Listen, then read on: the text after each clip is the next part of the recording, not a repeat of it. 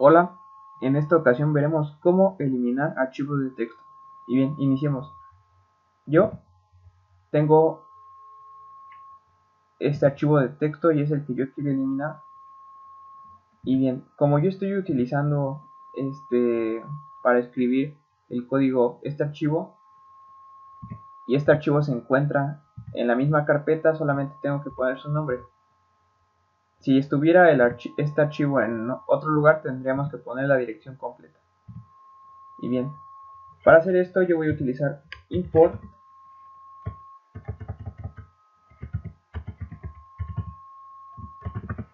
os y después voy a poner os.remove.